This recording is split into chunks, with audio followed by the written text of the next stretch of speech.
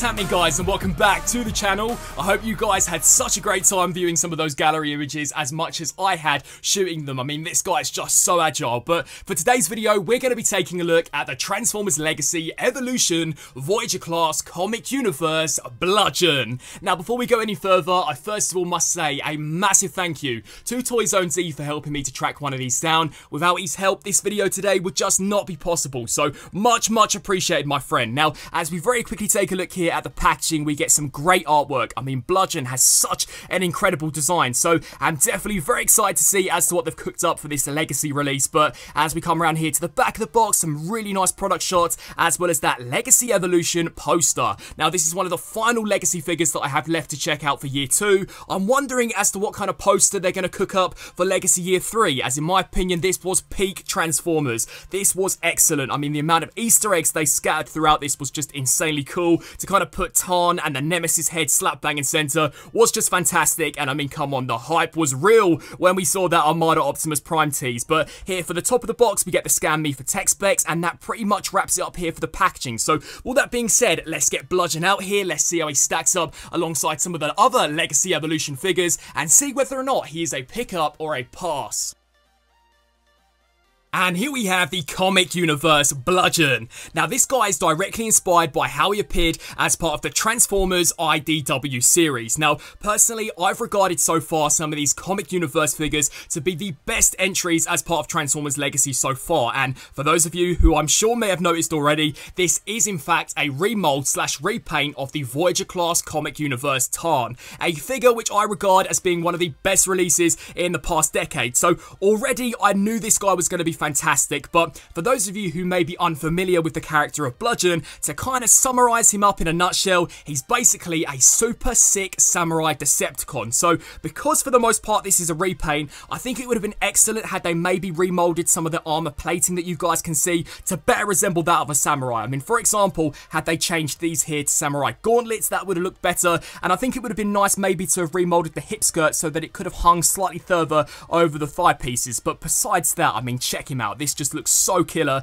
The face sculpt is insanely detailed. I mean, the mouthpiece in particular is just sick. And the color deco on this guy is awesome. I think I may even be preferring this to Tarn. I mean, it just looks so cool. I love kind of the burning magma orange that we've got embedded within the chest. Really does throw me back to Transformers Rise of the Beast Scourge. And the slender finger design looks awesome. I love how sleek he is, especially here for the thighs and the shins. And as we spin this guy around here to the back, to be quite honest, you wouldn't think this guy could transform he is so clean. There is next to no excess tank kibble, and he is stacked. I mean, look, there are barely any hollow spaces on this guy. So, I mean, if you weren't able to track down Tarn, this definitely by no means would be a bad addition to the collection. And to be fair, for a bludgeon, I'm still incredibly impressed, despite some of my qualms with the lack of retooling. I do think he does look awesome. Now, in terms of articulation, the head is on a ball joint, so it can look up and down, tilt side to side, as well as rotate left to right. I mean, the poses that you can get this guy in are quite literally off the the scales. The shoulders can rotate the full 360, hinge out to the sides. Unfortunately, they still look a little strange, much like we saw from Tarn, but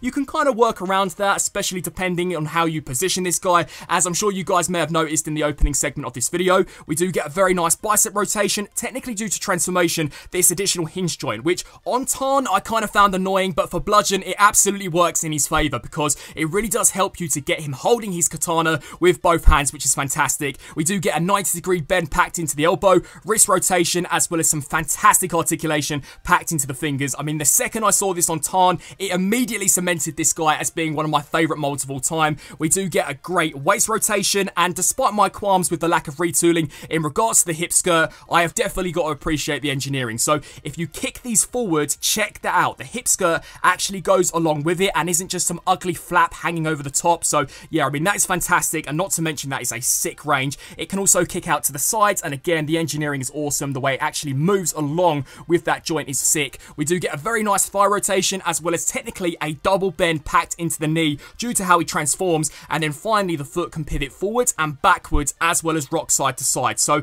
overall, in terms of articulation, in terms of detail, this guy is awesome. And if you loved Tarn, then I think you're going to love Bludgeon because personally, I think the color deco and in particular the head sculpt really does help to just set him apart. And I think in a pose, this guy may even look slightly more badass.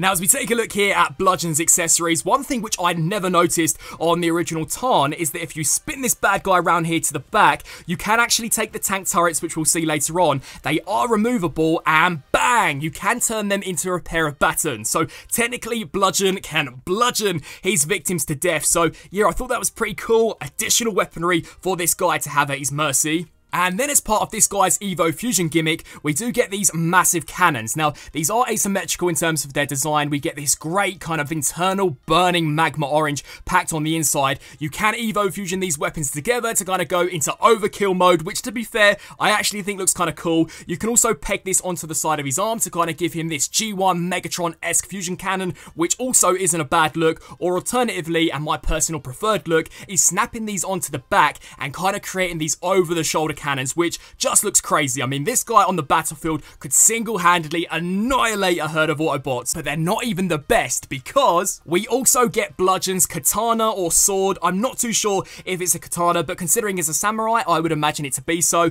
I mean, this is fantastic. This is completely brand new, the only new accessory that he does come with, but really nice metallic silver. It's actually made out of hard plastic. I was not expecting it to be as firm as it is, and he looks great wielding this. I mean, so cool, especially you do kind of use those transformation joints, which I showcased previously, and you can also sling this over his back, which to be fair, also isn't a bad look for this guy. So yeah, he is definitely maxed out in terms of weapons. He has cannons, he has batons, he has a katana. This guy is quite literally armed to those gnarly teeth. Now, as we check out a few comparisons, here we have Bludgeon stacked up alongside the Legacy Tarn, and damn, do these guys look great. I mean, to be fair, I think Hasbro could even take this mold, smack on that Legacy Prime Universe RC head sculpt, and I'd even be lapping that up because it is just such a killer mold. I mean, these guys look great. In terms of which one I prefer, honestly, guys, it's so difficult to decide because I love the super vibrant color scheme that we're now getting out of this Bludgeon, but Tarn also is so cool. I think both of them equally are as badass as each other. I think I'm going to leave it as that, but as we just spin them here around to the sides, you can see the differences in terms of the paint apps. I mean, as I said previously, it would have been even better had they retooled some additional samurai plating here onto Bludgeon, but you know what? For the most part, I still think he looks pretty impressive. Here is how he stacks up alongside the War for Cybertron, Siege, Voyager, Megatron. Bludgeon may even be cooler looking when in comparison to Megatron. I mean, that design is just so nice. Here is how he fares alongside the Earthrise Optimus Prime. And as you guys may recall from my original Tarn review, I do regard these two molds as being the peak of some of the most recent Transformers generation figures. I mean, hands down the best transforming G1 Optimus Prime that we've ever seen with an exception of the Masterpiece. I mean, this is just killer. And yeah, yeah, this Tarn slash Bludgeon mold just takes Voyager class to a whole other level in my opinion. And then finally, if Paramount decide to maybe put Megatron on the back burner for the next live action movie, I wouldn't mind seeing Bludgeon being the main kind of Decepticon villain in a live action Transformers movie. So here he is alongside Rise of the Beast Optimus Prime. And honestly, guys, I would not mind at all seeing these guys go head to head in combat. I mean, we saw how brutal this Optimus Prime was towards the end of the Rise of the Beast movie. Would he be a great match here for Bludgeon? I absolutely think so.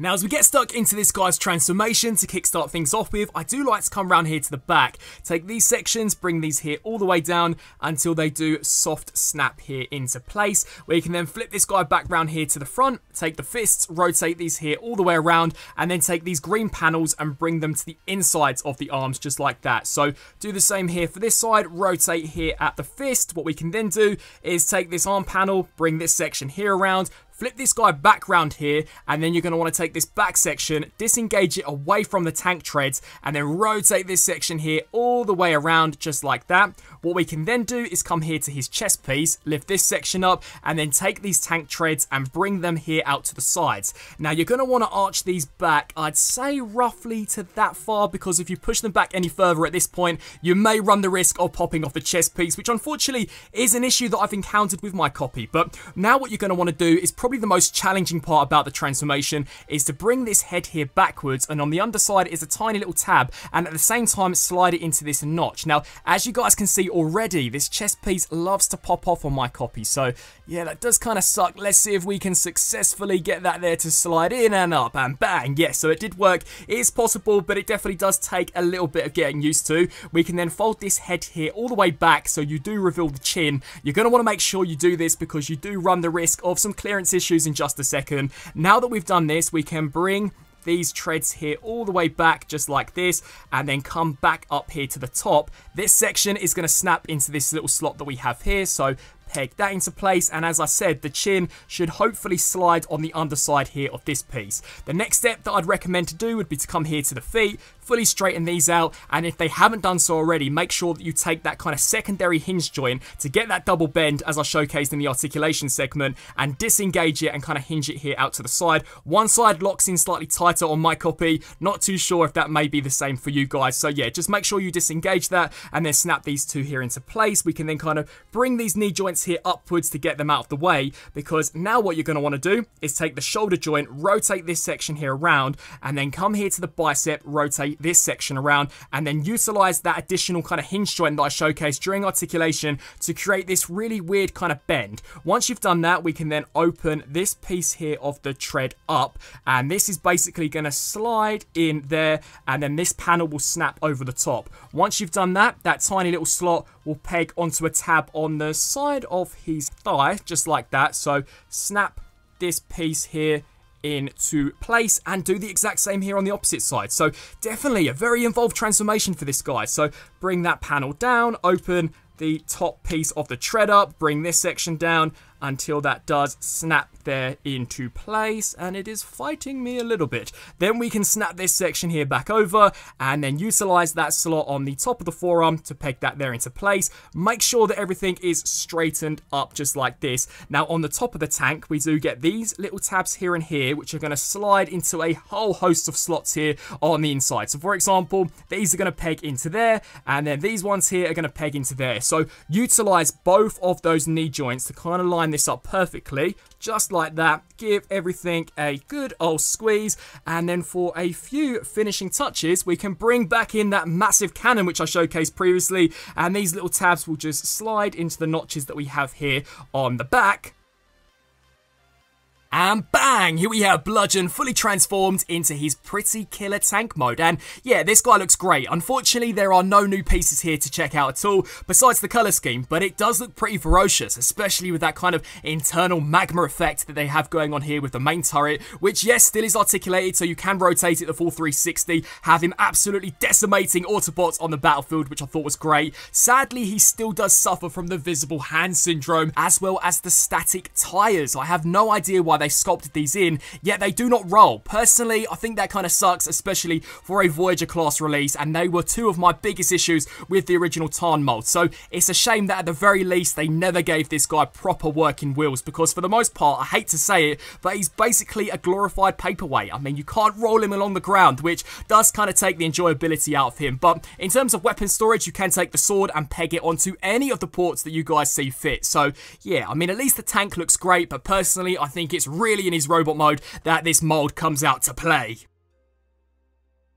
Now as we check out a few comparisons in tank mode, here we have Bludgeon alongside Tarn, and I think for tank mode, Bludgeon definitely has the upper edge. I just think the darker colour scheme kind of goes along with the war-torn vibe that these characters kind of give me a little nicer, because yeah, the orange is great in robot mode and great for Bludgeon, but just in terms of my own personal preference, when I think of a tank, I think of something dark and formidable like what we're seeing here with Tarn, and not these super vibrant kind of burning orange colours that we're seeing here with Bludgeon. But yeah, both really nice decos. I'd love to know down in the comment section below out of the two, who do you guys prefer? Here is how he fares alongside that Siege War for Cybertron Megatron, which unfortunately has a terrible tank mode. I am so hoping that considering this mold is coming up to be around 5 or 6 years old now, that as we go into Legacy Year 3, and you know, maybe for Studio Series 86, that we can see a new Megatron, because yeah, this just isn't too great, especially when in comparison to the tank mode here for Bludgeon slash Tarn. And then finally, here he is alongside Earthrise Optimus Prime, and I think I said it in my original Tarn review. These guys look like great opponents